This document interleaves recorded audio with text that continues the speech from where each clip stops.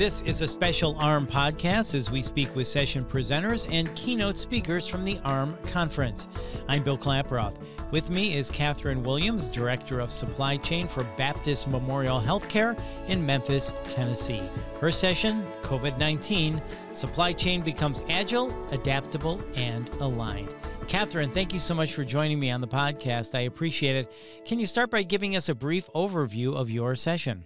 Sure. We reviewed three topics, the first being agility through data, adapting your logistics and storage, and how to align to succeed all within our COVID 19 environment.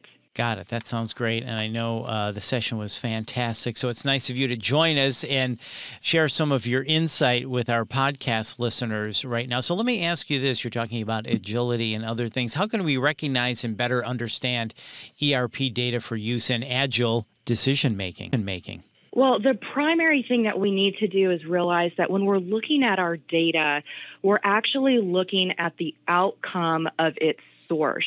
So we have to take it one step further and we have to truly understand where our data is coming from and what's causing it to populate on the reports that we pull.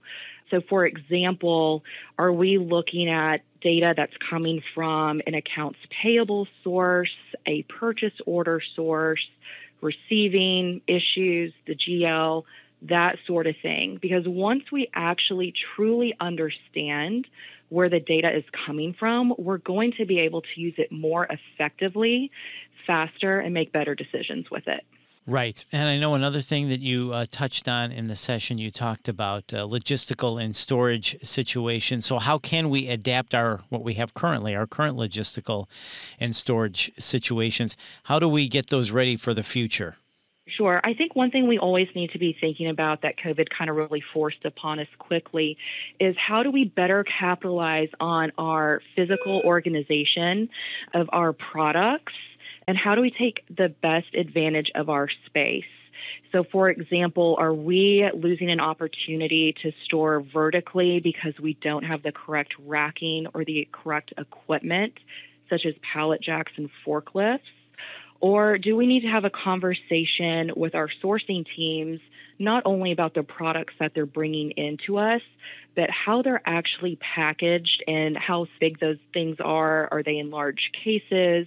Are they going to be palletized, et cetera? So, those are all really uh, real world concerns and uh, good to think about as we move into the future. And then you also talked about collaborating with clinicians as well and capitalizing on clinical alignment to provide the uh, safest environment for our team members and patients. Can you tell us about that? Sure. I think with supply chain, the main thing that we always need to remember is that we are a service role. It is our job to help serve our clinicians and our internal clients so that they can best serve our patients that come into our facilities.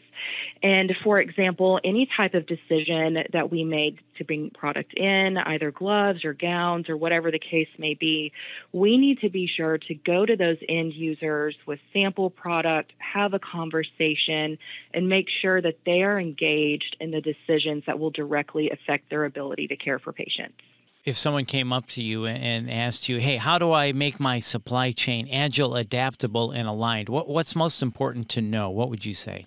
The most important thing is to constantly be educating yourself on your supply chain, constantly be asking questions and learning more about your data and its source, constantly be thinking about better ways to physically bring products in uh, logistically and to always have a growing relationship with clinicians, those influencer clinicians who are not always in leadership roles, and to never stop learning about our craft.